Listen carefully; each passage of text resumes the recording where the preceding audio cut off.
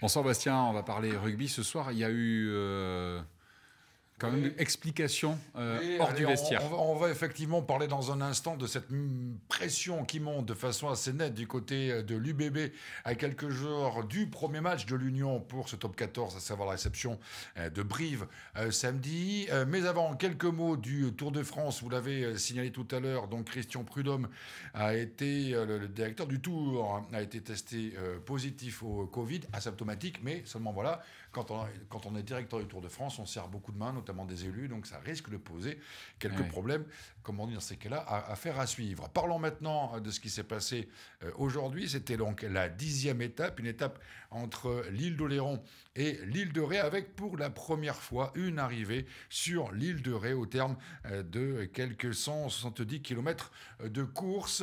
Une course assez tendue, un peloton très regroupé, avec pas mal de chutes. C'était un, un, peu le risque qui était envisagé durant euh, cette étape, eh bien finalement tout s'est réglé au, sprint. Et c'est un, Irlandais, l'Irlandais Sam Bennett, euh, première victoire dans le Tour de France au sprint euh, devant Ewan et Sagan. a signalé que du côté du, du classement, aucun changement encore et toujours. Roglic en jaune et c'est demain la 11e étape, toujours en Nouvelle-Aquitaine, entre Châtelaillon et Poitiers.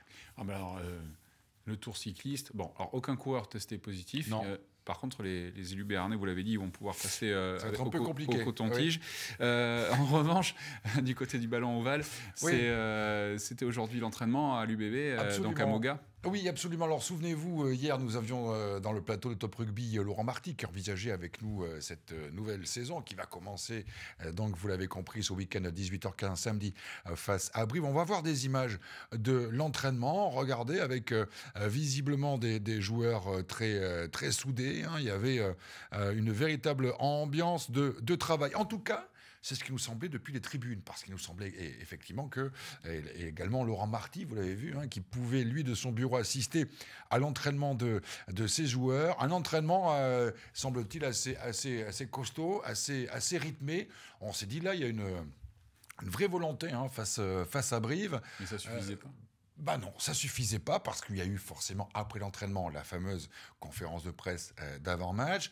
Euh, il y a eu des joueurs qui sont venus, notamment euh, du coin, du coin. Et puis il y a eu Christophe Furios. Et Christophe Furios, on le sentait un petit peu tendu.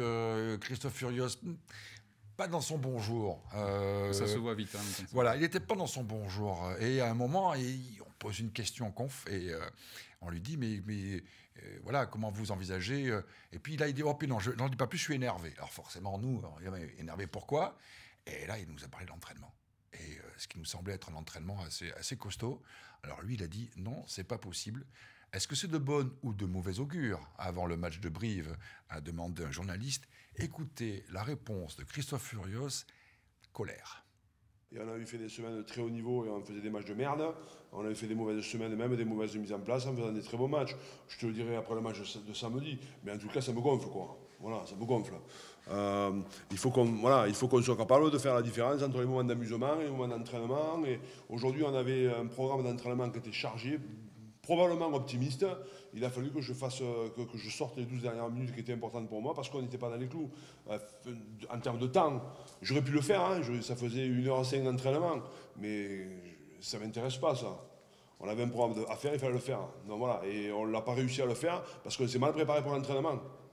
Voilà, donc euh, l'entraînement, ça se prépare. L'entraînement du mardi se prépare. Et là, on s'est mal préparé pour l'entraînement. Alors, est-ce que c'est le bon augure pour samedi? Je te dirai samedi. Mais je pense qu'ils vont c'est clair. Hein, euh, mais je pense qu'ils vont, ils vont l'entendre, hein, euh, dit euh, par la suite Christophe Furios.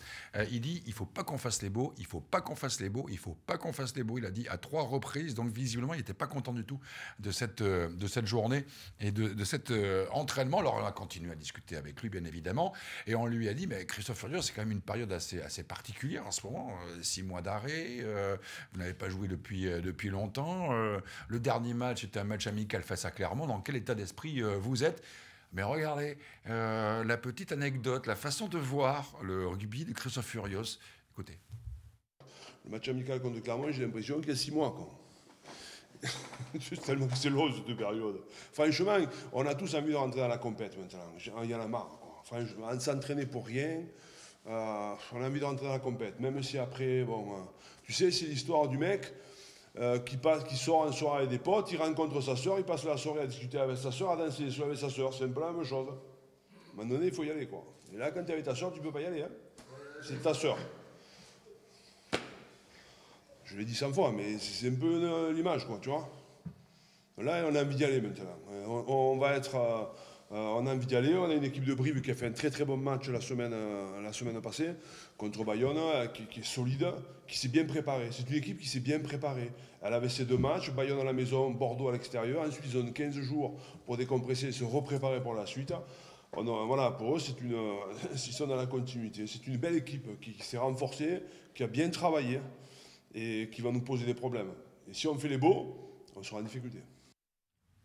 Vous vous avez bien compris hein, le message de Christophe Furios à, ces jours. Attention, hein, ne, faites pas, ne faites pas les beaux, parce qu'attention, la correction n'est pas loin. Plutôt sympa l'anecdote sur euh, la soirée avec la sœur. Euh, façon de voir le rugby. Oui, c'est hein, clair. Voilà. Euh, donc, UBB Brive, c'est samedi à 18h15. Donc, euh, nous aurons l'occasion d'en reparler un lundi, bien évidemment, avec Mathieu Lalzovel en talk rugby et à l'occasion du grand débrief euh, sport du lundi. C'est à 19h. Euh, quelques mots encore pour vous dire que c'est le top départ également pour le championnat des handballeuses avec la Mérignac Handball qui va lancer sa saison. C'est demain, salle Jean Doguet à 20h pour les filles du MHB face à un sacré morceau, à savoir Brest. Le MHB, sachez-le, qui la saison dernière n'a pas remporté une seule rencontre. Euh, c'était normal, hein, c'était la montée, euh, c'était un, peu, un petit peu compliqué et qui doit en fait sa, sa, survie en division d'élite du handball féminin grâce au fait que eh bien, cette division a, est passée de 12 à 14 clubs. Donc le MHB va se tester très fortement. Donc dès euh, ce mercredi face à Brest, salle Jean Doguet avec 80% quasiment de l'effectif hein, du MHB qui a été revu à l'intersaison. Et puis un petit mot également de Bordeaux-Lyon, c'est l'autre grosse affiche euh, du côté du, sport euh, en Gironde ce week-end, enfin plutôt vendredi, vendredi 21h, Bordeaux-Lyon. Sachez que les billets dispo pour les abonnés ont été vendus en quelques heures. Donc ce match se fera à guichet fermé. C'est pas très compliqué quand il n'y a que 5 places à vendre. Surtout au Matmut. Surtout au Matmut.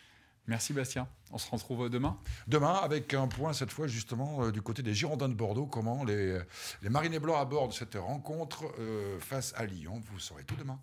Allez, bonne soirée à toutes et à tous sur Télé 7.